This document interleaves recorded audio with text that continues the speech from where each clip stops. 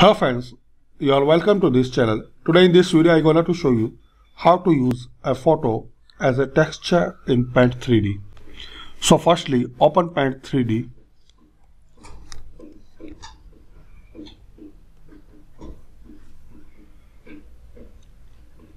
Open Paint 3D apps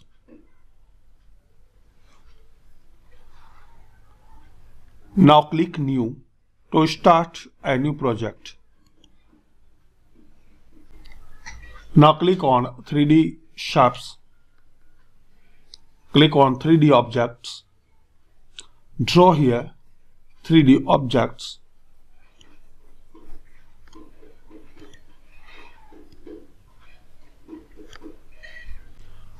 Now click on stickers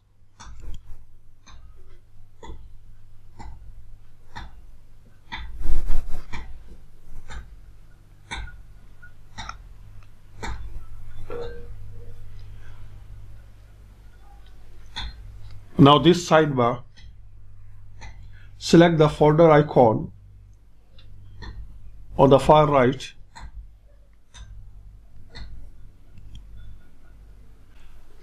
Now click on add sticker. Find the photo would you like to use as a texture and click on open. Now click on Make 3D. Now click on Make Sticker. Now stretch the sticker.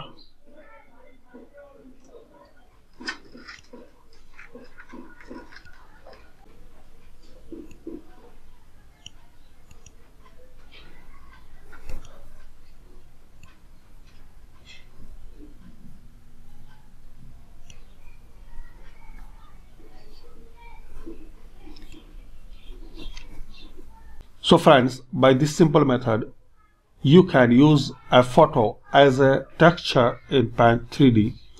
I hope you like this video. If you like this video, so please hit like button, share, and don't forget to subscribe this channel. Thanks again for watching this video.